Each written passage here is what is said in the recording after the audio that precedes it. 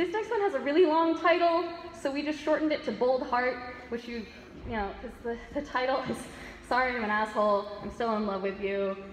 Uh, no, that was the other one. This one is Falling in Love is No Fun Sober, especially if it's the next morning and you realize that you fell in love really sucks. Basically, the title. Um, Bold Heart. All right, anyway.